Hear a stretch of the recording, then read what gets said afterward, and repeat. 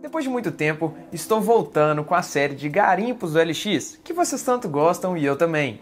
Uma série na qual eu compro computadores bem baratinhos, reformo eles e deixo eles novinhos em folha para usar hoje em dia. Eu tenho uma playlist cheia deles e se você está chegando agora no canal, tem muito vídeo para ver, eu espero que vocês gostem. Normalmente eu compro na OLX, que eu acho que é melhor para negociar, eu combino de encontrar com um vendedor em local público, que é dica de segurança, e assim compro o produto. Porém, agora com essa quarentena estou evitando sair de casa, portanto, olho sempre no Mercado Livre e até mesmo com vocês, alguns inscritos, no meu Instagram. E esse MacBook aqui, olha o tamanhozão dele. Eu comprei de um inscrito, o Marcos Souza, deixa eu deixar aqui do lado, que me mandou mensagem falando que estava com um MacBook para vender. Era um MacBook mais antigo, tinha alguns detalhes. A gente negociou e saiu num preço bem legal. Eu vou falar tudo de preço no final do vídeo, se vale a pena comprar um computador desse, quanto eu acho que vale pagar. Então, esperem aí. E falando desse MacBook em si, eu quis pegar ele porque ele tem uma particularidade. Esse foi o primeiro MacBook a ter os famosos e novos na época cores i5 e i7. Enquanto de 13 polegadas do mesmo ano usava um Core 2 Duo, o de 15 você podia escolher entre o Core i5 e o Core i7. E por isso eu quis pegar esse computador, para saber como que um processador de mais de 10 anos roda hoje em dia. E eu estava esquecendo de uma coisa que esse MacBook, outros que eu já fiz vídeo e também os futuros que eu ainda vou fazer vídeo, eu sempre vendo no meu Instagram, tem um destaque de vendas lá que você pode entrar para ver se tem algum MacBook vendendo, algum produto que eu faço vídeo vendendo. Eu mando para todo o Brasil, tá? Vocês podem ficar tranquilo, pode me chamar na DM para negociar e também eu sempre tô trocando ideia com vocês lá, beleza? Vamos continuar falando desse MacBook então. De fato, ele já viu dias melhores. Foi por isso que eu peguei ele com preço bem mais em conta. Está com alguns amassados na carcaça, na tela, mas nenhum trincado ou danos que atrapalham o uso. Primeira coisa que eu fiz foi ligar o Mac e botar no macOS High Sierra, que é o último sistema que ele suporta nativamente. Apesar de muito lento, claro, estamos falando de um HD, ele está funcionando normal e uma coisa legal é que ele já está com 8 GB de RAM. Bom que eu economizo porque normalmente esses computadores vinham com 4, aí eu ia colocar 8 e RAM tá bem caro ultimamente nesse período de quarentena, pandemia e dólar lá nas alturas. Antes de fazer qualquer coisa nele, eu baixei o macOS Catalina Patcher para fazer um pendrive bootável, já que esse Mac não suporta o novo sistema nativamente. É bem simples esse processo. Se você quiser ver em detalhes, eu vou deixar o link na descrição e também está aparecendo no card para você fazer. Só demora um pouquinho a baixar o sistema, que ele é bem pesado. Depois do pendrive feito, agora é a hora que vocês gostam. Hora de abrir, limpar ele e fazer os upgrades.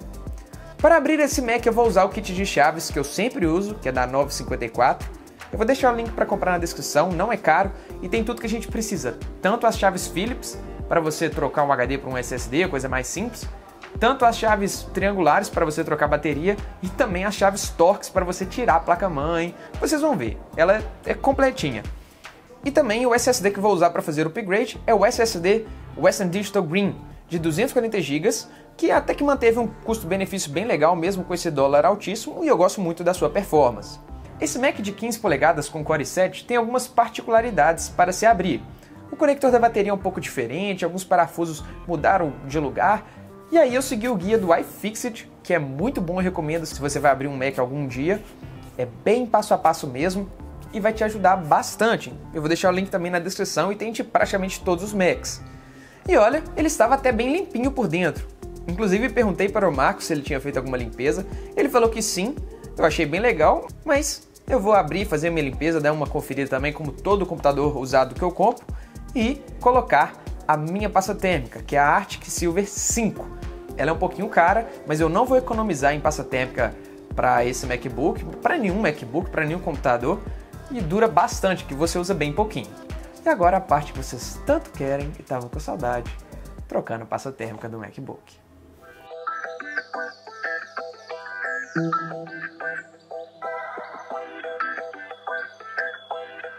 Eu sei, eu sei. eu também estava com saudades disso.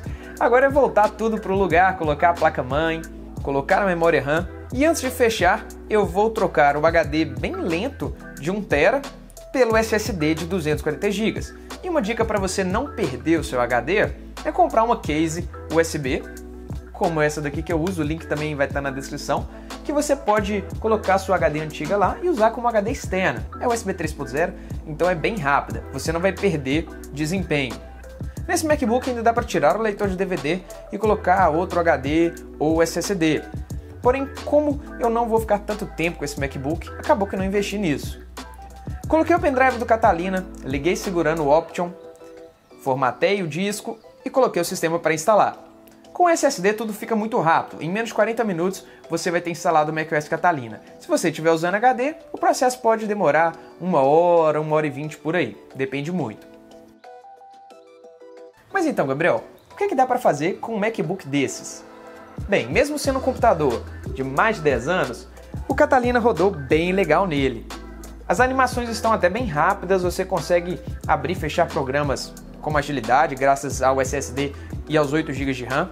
Para uso leve de internet e redes sociais, ele vai tirar de letra, pode abrir muitas abas no Chrome que vai segurar numa boa, ver vídeos no YouTube também ele roda numa boa e também, claro, ver filmes no Netflix, ele vai ser perfeito.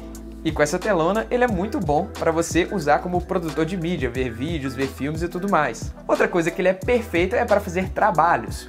Tanto de faculdade quanto de escola, o seu teclado é muito confortável. Eu instalei o pacote Office completo nele, que eu tenho comprado para Mac. E assim, escrever nele é perfeito. O roteiro desse vídeo foi escrito nele e eu não tive problema nenhum. O trackpad também é muito bom, funciona com todos os gestos, igual um MacBook mais novo hoje. O que não é muito bom é transportar ele, porque ele é bem grande, pesado, não é muito fino, né? Ele tem uma espessura até bem, assim, considerável. É um computador de 2010, né, pessoal? E aí, se você for usar para levar para os lugares, eu não recomendo tanto. Mas mesmo assim, ele continua com um design bem bonito e atual. A bateria ainda está durando legal, mesmo com 786 ciclos, sua condição está normal, durando cerca de 3 horas com uso leve sem problema. Eu poderia comprar uma bateria nova que até não é muito cara, mas como eu não vou ficar andando com ele por aí, eu resolvi não fazer isso. Mas eu queria ir além. Será que ele ainda é um MacBook Pro? Será que ele aguenta editar vídeos em 4K, como esses aqui do meu canal? Bem, aí eu comecei a ter alguns probleminhas. Pois, veja bem, ele está rodando Catalina usando um patch. Por mais que tenha ficado bem legal, os drivers de vídeo não estão totalmente reconhecidos. Inclusive, eu nem consigo fazer um benchmark usando a GPU porque ele cracha. Desativar a dedicada e usar a integrada não é algo muito bom porque a integrada desse modelo é a primeira HD Graphics que a Intel lançou. Tem apenas 288 megas. Só usa isso da memória RAM. Então sim, vai ser uma placa muito ruim mesmo. E não tinha muita solução. O Final Cut Pro X, que é o editor que eu uso, não estava nem abrindo. Ele instalou normalmente, mas não estava abrindo. O que eu fiz então? Particionei o SSD, fiz uma partição de 80 GB e instalei o High Sierra lá.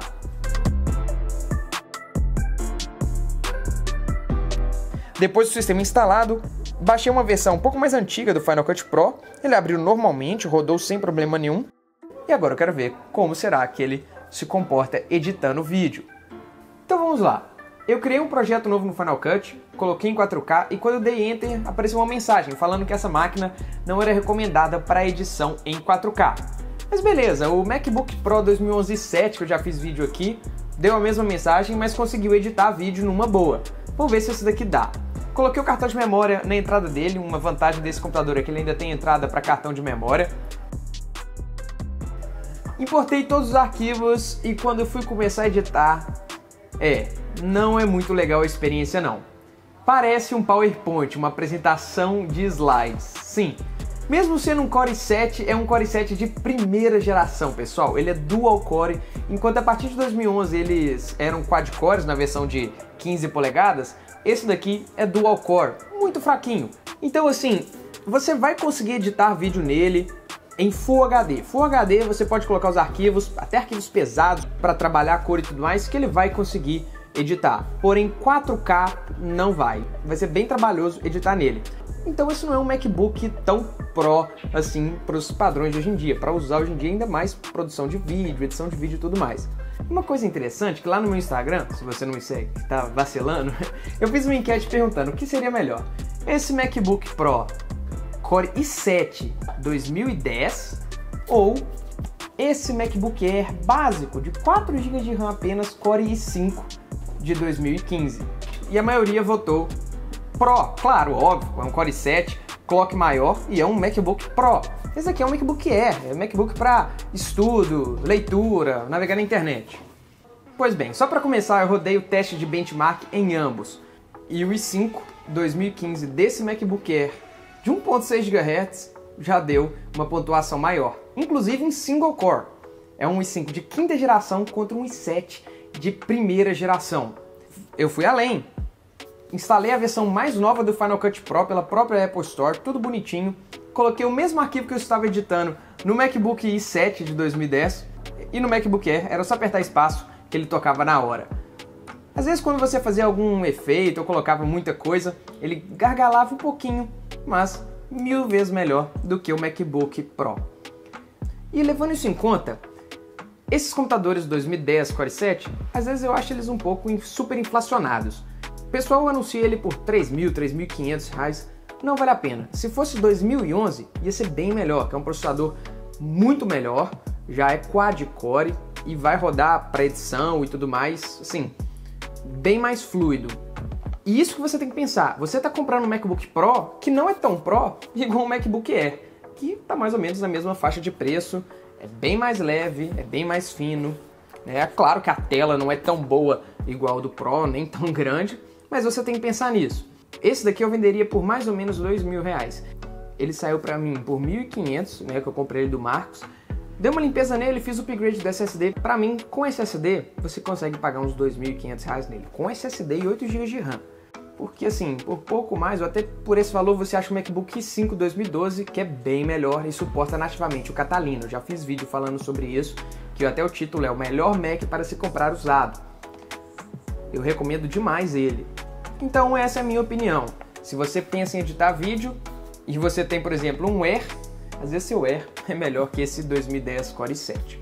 Mas é isso, pessoal. Espero muito que vocês tenham gostado desse vídeo. Deu um pouquinho de trabalho para fazer. Coloca qualquer crítica ou sugestão aí nos comentários que eu vou adorar ler e responder vocês. Sou Gabriel de Pinho, vou ficando por aqui e até a próxima.